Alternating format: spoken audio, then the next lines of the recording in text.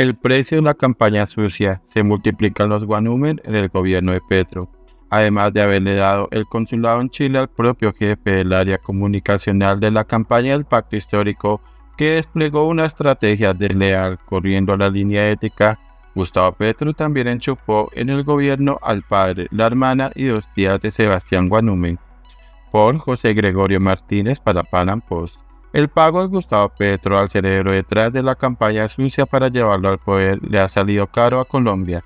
No bastó con designar como cónsul en Chile al propio Sebastián Guanúmen, jefe del área comunicacional del equipo del Pacto Histórico para las elecciones presidenciales, quien ganó protagonismo por sus estrategias desleales expuestas en los Petrovideos, sino que además se le ha otorgado cargos en el gobierno a cuatro miembros más de su familia.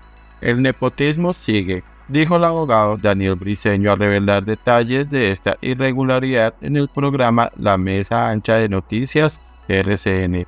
Y es que según su denuncia, el gobierno de Gustavo Petro ha otorgado cinco contratos a la familia Guanumen, incluyendo al polémico personaje que durante la campaña habló de correr la línea ética, con una campaña de desinformación para desprestigiar la imagen del resto de los candidatos para las presidenciales de 2022, con noticias falsas, memes y bots en las redes sociales, teniendo al frente un ejército de influencers que él se encargaba de coordinar, según el revelador material audiovisual difundido entonces por la revista Semana.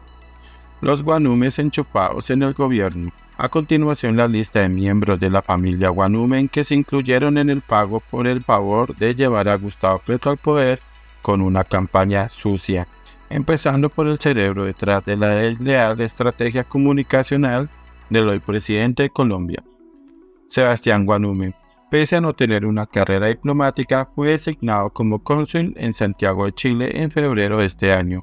Hugo Germán Guanume, padre, ocupa el cargo de asesor del despacho del Superintendente de Servicios Públicos Domiciliarios. Lida Milena Guanume, tía de Sebastián, aparece con un contrato por 116.903.226 pesos, de 28.000 dólares, en la tía Colombia Compra Eficiente. Yolima Guanumen, tía de Sebastián, tiene un contrato por 46.463.664 pesos, unos 11.000 dólares, en la Unidad Administrativa Especial de Gestión de Restitución de Tierras Despojadas. María Alejandra Guanumen Parra, hermana de Sebastián, presentó su declaración de bienes y rentas para ingresar como contratista en el Ministerio de Vivienda, Ciudad y Territorio.